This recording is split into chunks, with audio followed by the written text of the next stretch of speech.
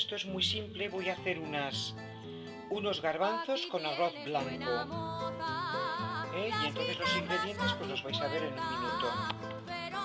Bueno, simplemente voy a echarle dos ajitos, dos gajos de un ajo, ¿no? Eh, un poquito de laurel, si tenéis. Si no podéis echarle cualquier otro condimento. Una pastillita de avecren magi o, bueno, para dar sabor a la sopa, lo que tengáis por ahí. Le ponéis una cebolla, un vasito de arroz y luego lo equivalente a dos vasos de garbanzos. Esto se puede hacer con garbanzos, se puede hacer con judía, si es pinta mejor, o sea, la oscura, ¿no? Pero con judía o con garbanzos. Y la judía si es negra o pinta muchísimo mejor.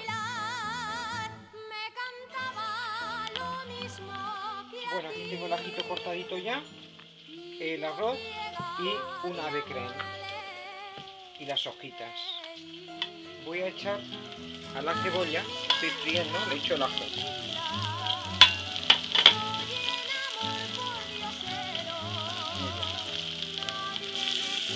Ahora le voy, ya está un poquito refrito, el ajito y la cebolla.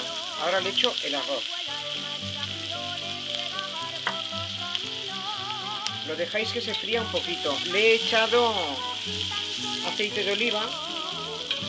Si no tenéis de oliva, pues de girasol. O sea, no tiene, no es necesario que sea exactamente de oliva, ¿eh? Hombre, a mí me gusta más el de oliva, pero no es necesario, ¿eh? Podéis echar lo que tengáis.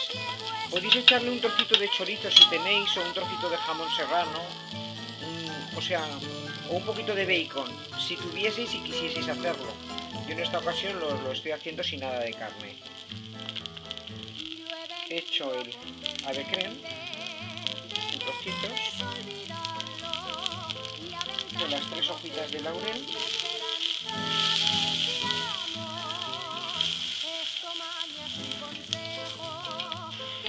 y ahora añado los garbanzos.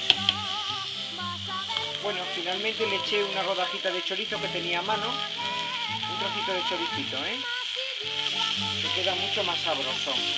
Y ahora ya le voy a añadir el agua. Tres, uno. Bueno, pues nada, la sopita ya está preparada y lista.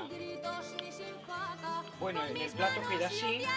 Podéis echarle si queréis un poquito más de caldito. Voy a echarle como solamente tengo una mano.